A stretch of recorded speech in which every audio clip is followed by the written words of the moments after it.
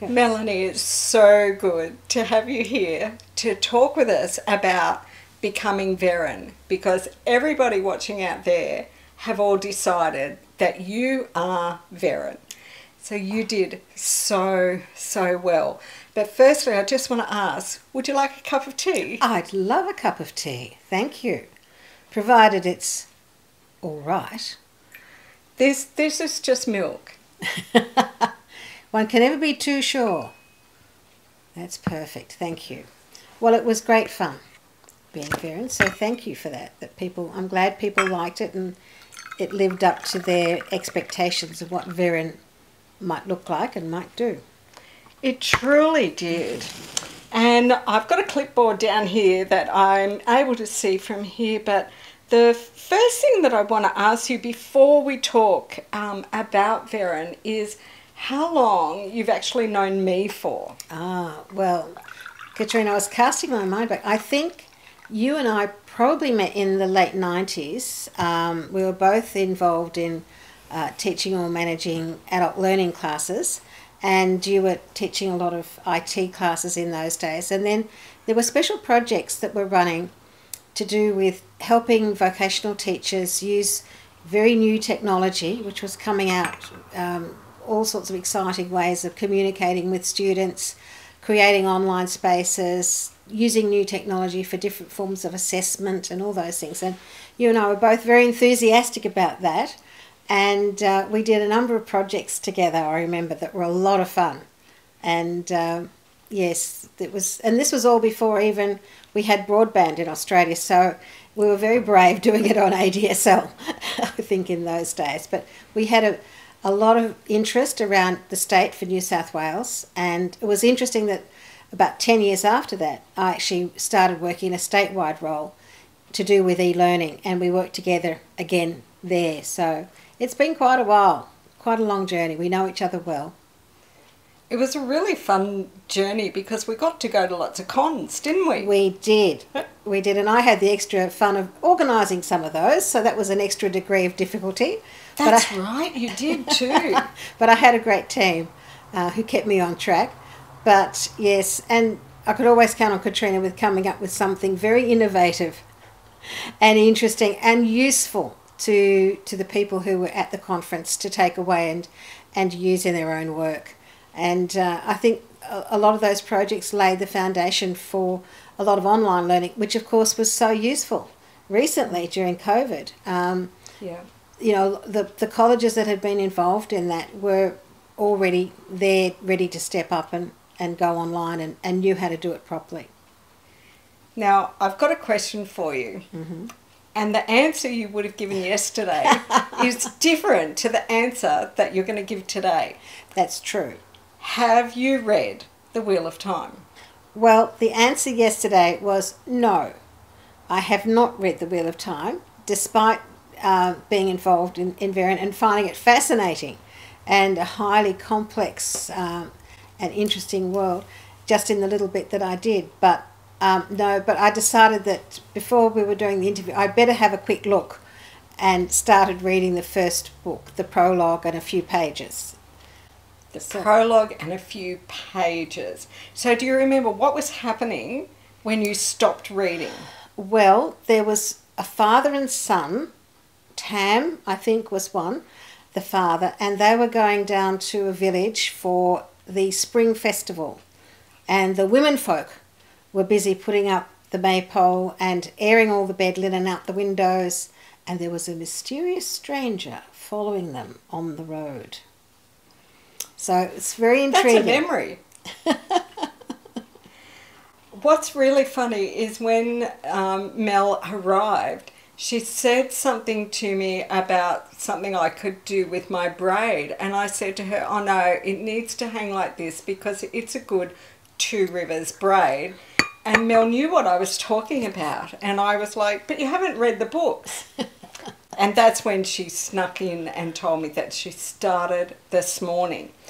But the next question I've got for you is before we ever even I even gave you any information about mm. Verin, how many times did I ask you, are you sure you'll never read The Wheel of Time?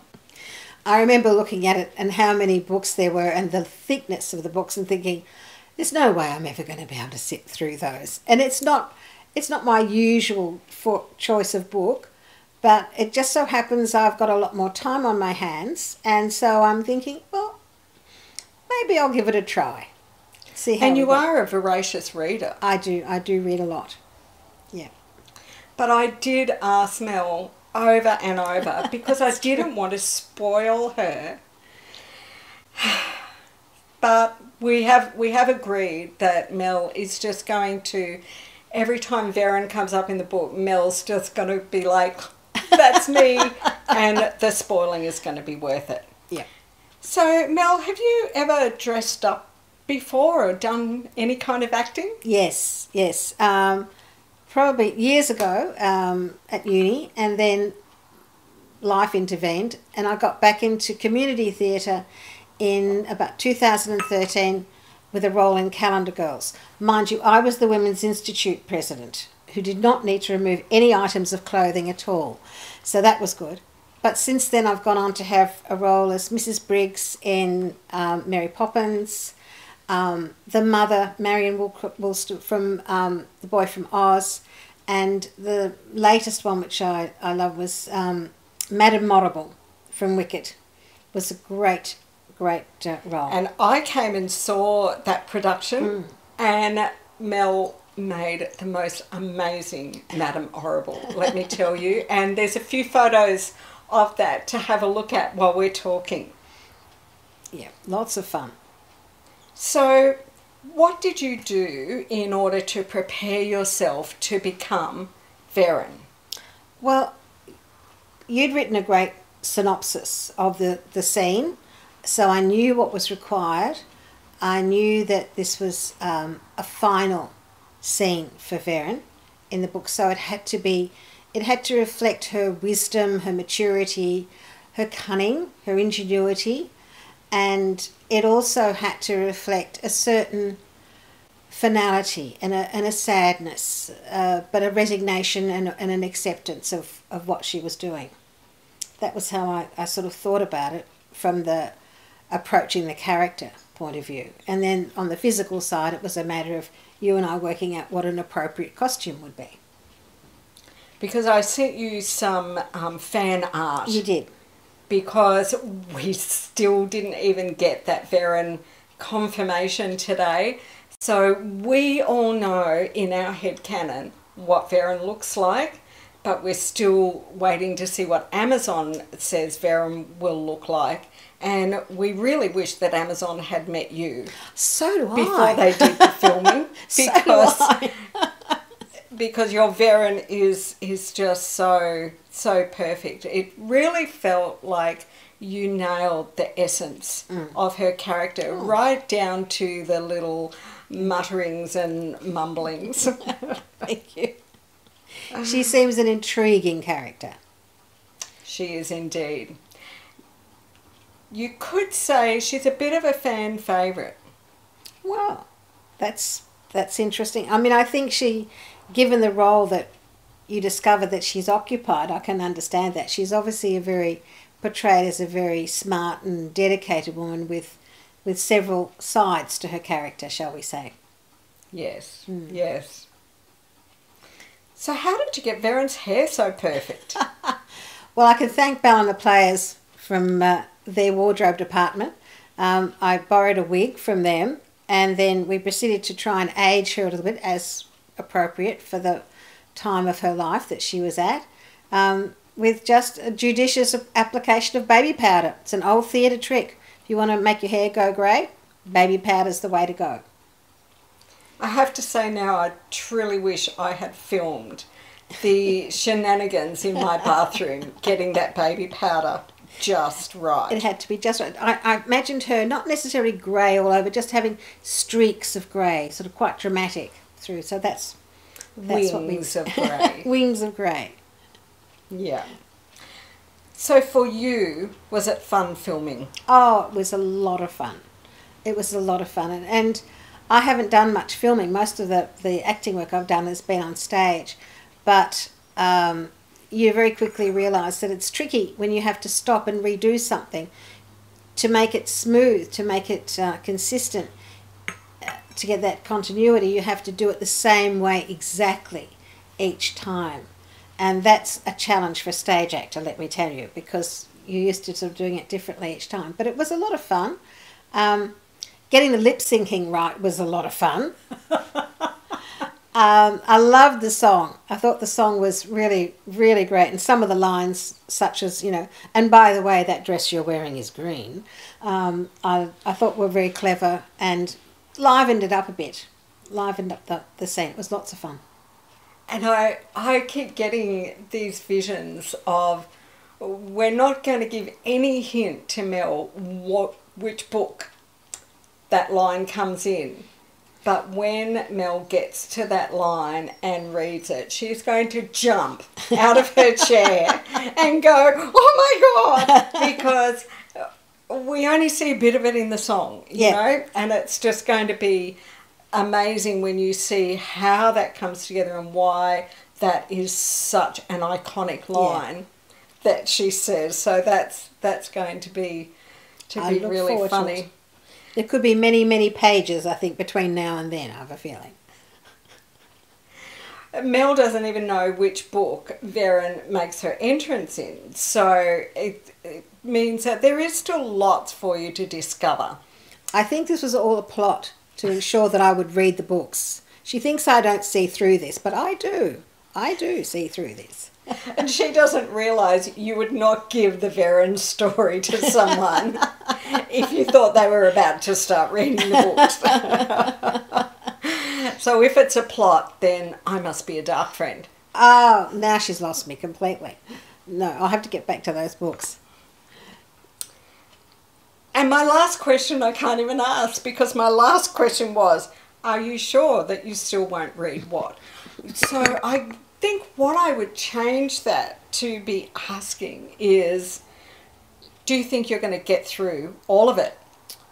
Well, No pressure. I'll give We're it a getting it on film. Stay tuned. Um, I wonder if anybody watching would be interested to see any highlights of discussions with Mel as she's reading. Would you Yeah. be interested in Yeah. chatting to me every now and then? Like not, you know, not a weekly podcast.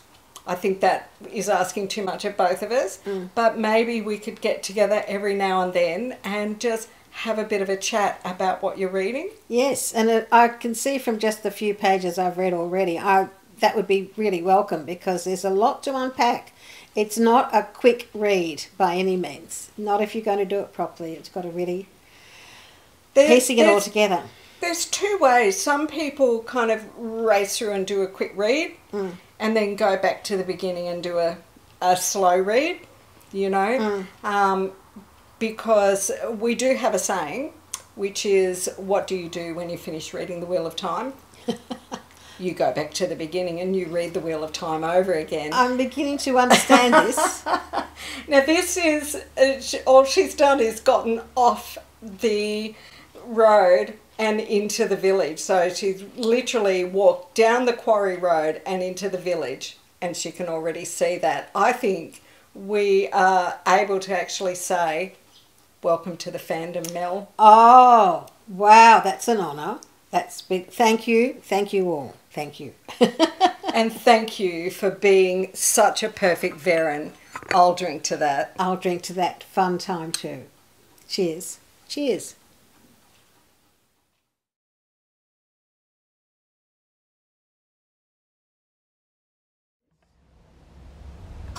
And and yeah, that's where because I'm not using any sound that we do. Did you put the poison in the pot? No, not yet.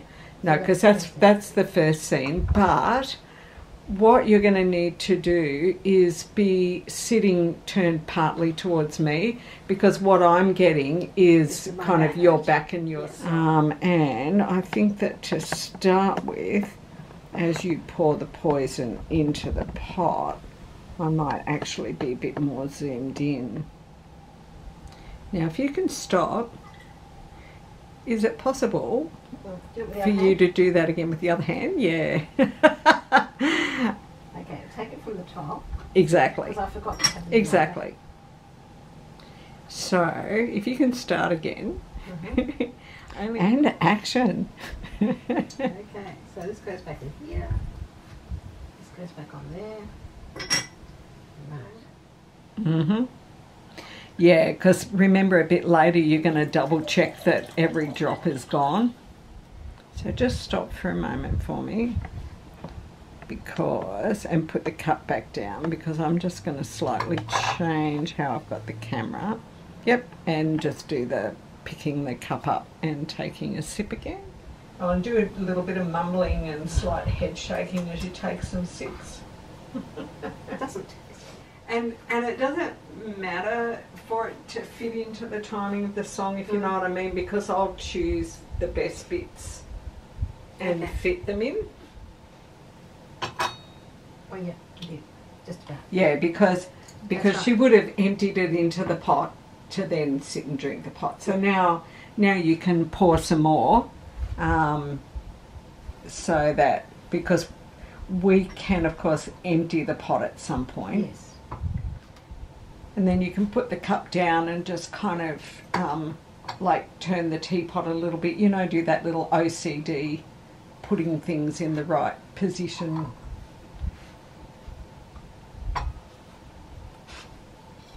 And shake your head, pour a bit more. Maybe if we pour, maybe if we pour everything into this, because I, I think we've got enough of Mhm. the of that bit, like Yeah. pour all the teapot. So that's why I'm thinking we're probably close enough now to empty the teapot. I made way too much tea. Sorry, I zoomed out a bit too much. Can you just put the cup back to your mouth and just put it down in the saucer? That's good.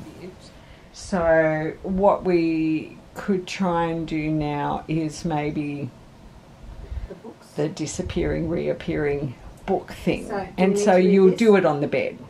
If I bring it, bring it over so that you can get your hands in position to begin the untwisting Didn't miss that.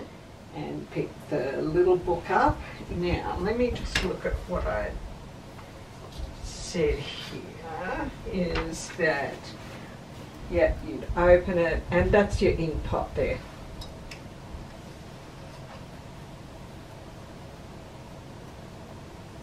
Ah, Smudge. yeah, and you see if you rub your finger on that's just pencil. Yep, and now pick your feather up and write in the book a little bit.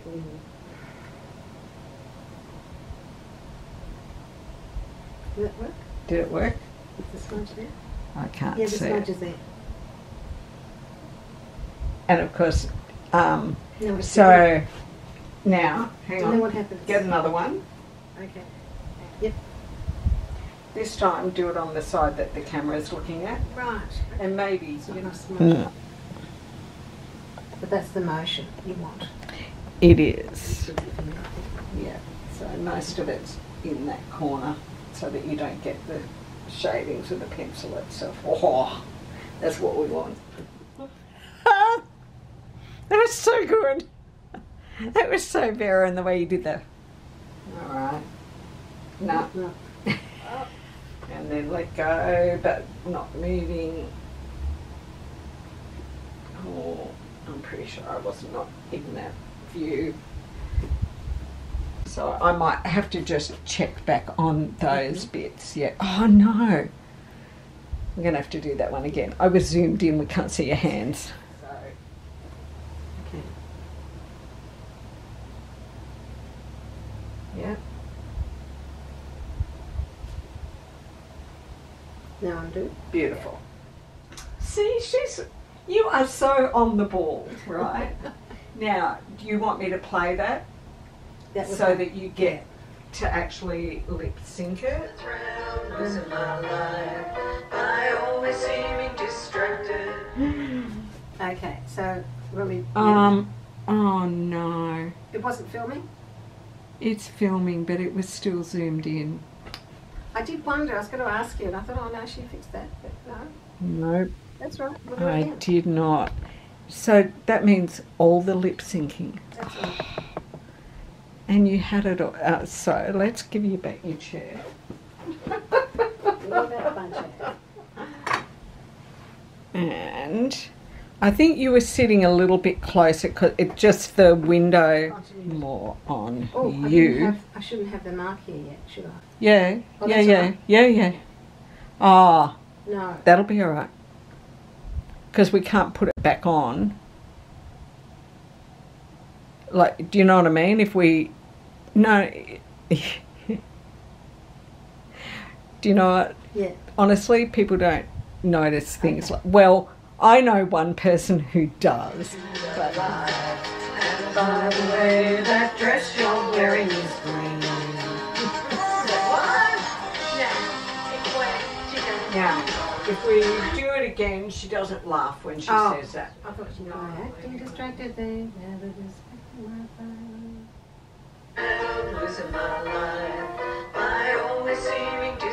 This is the line before. Suspected my perfect plan. Did first time readers notice my first line? You got run out again? Battery? The battery's So, about. You basically know now what you're going to do. Mm. So I would suggest just do it because then we'll see how that flows and whether we might change how to do it. Yeah. It would be good if you die towards the camera, not away from it. That was actually pretty perfect dying. Okay. Action. Action.